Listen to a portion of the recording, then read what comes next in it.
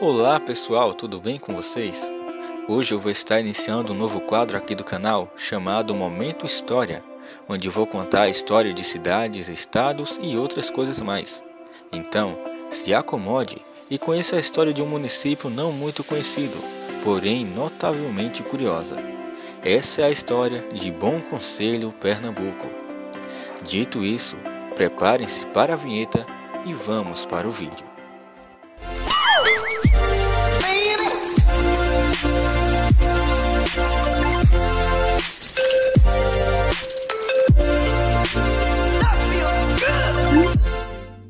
Bom Conselho é um município brasileiro do estado de Pernambuco, região nordeste do Brasil. Pertence à mesorregião do Agreste Pernambucano e à microrregião de Garanhuns. É uma das cidades mais distantes de Pernambuco. Para se ter uma ideia, Maceió, capital alagoana, é mais perto, cerca de 176 km de distância de Bom Conselho, do que a capital de Pernambuco, Recife, que fica a 282 km de distância. Bom Conselho conta com uma população estimada de mais de 48 mil habitantes. Bom Conselho também tem uma área geográfica de 792.181 km. Bom Conselho detém um PIB de mais de 320 mil reais, o que o torna o 42º município de Pernambuco com o PIB mais estável. Isso também o leva a um PIB per capita de 7 mil reais por habitante em média. Sete distritos fazem parte de Bom Conselho. São eles: Barra do Brejo, Cachoeira do Pinto, Caldeirões dos Guedes, Igreja Nova, Lagoa de São José, Logradouro dos Leões e Rainha Isabel.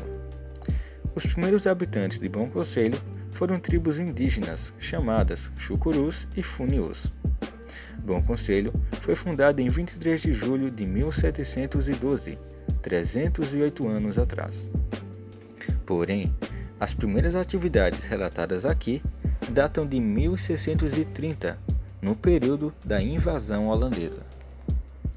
Nessa época, foi organizado um quilombo, conhecido como Quilombo de Pedro Papacaça, que atualmente chama-se Quilombo de Angico. Durante vários meses, o capitão holandês Johannes Blair van Rindbeck, ou João Blair em português, permaneceu nas terras onde atualmente corresponde à região do Bulandi, com o objetivo de destruir o quilombo dos Palmares, juntamente com Bartolomeu Lintz e sob ordem do governo de Johann Maurits van Nassau-Siegen, ou Maurício de Nassau, como era conhecido. Em 1945, deu-se início à Guerra do Mato.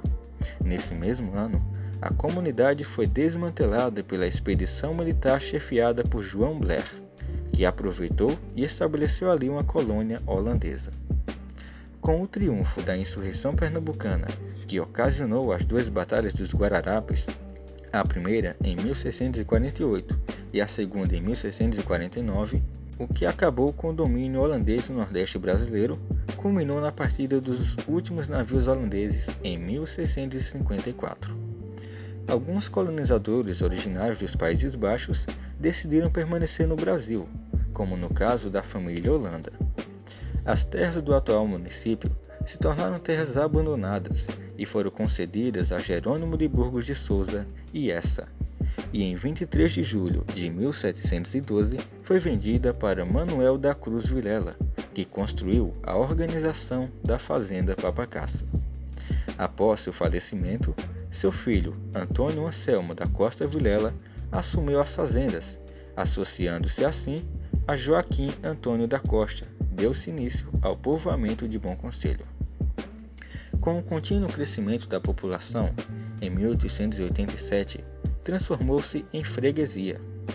Em 3 de agosto de 1892, Bom Conselho tornou-se um município autônomo através da Lei nº 152 foi empossado o primeiro prefeito em 28 de dezembro do mesmo ano.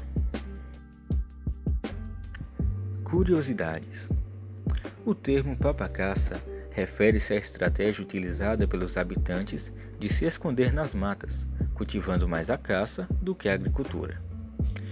A partir de 1860, passou a denominar-se Bom Conselho em razão da construção do monumental Colégio Nossa Senhora do Bom Conselho, o primeiro educandário de grande porte para educação feminina no Nordeste e por ordem do Frei Caetano de Messina, capuchinho italiano, natural de Messina, cidade da qual ele fundou. Durante o final dos anos 1600, espalharam-se rumores que Johannes Blair teria enterrado um tesouro nesta região. E em meados de 1680, um grupo de holandeses sob a liderança de René Belosk, que tinham um suposto mapa que revelava a localização desse tesouro, vieram para Bom Conselho, onde por sua vez começaram a cavar e construir abrigos no topo de uma serra.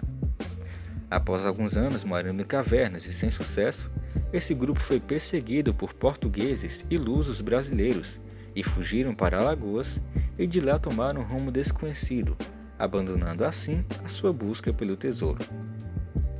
É especulado também que a família Vilela teria vindo para a localidade a fim de procurar o suposto tesouro de Van Rindbeck e que por muitos anos e gerações se dedicaram a essa tarefa, no entanto, sem obter sucesso.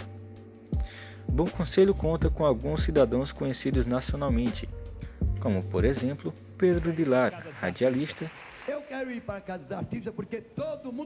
Marechal Dantas Barreto, militar e ex-político, e Basto Peroba, sanfoneiro regional.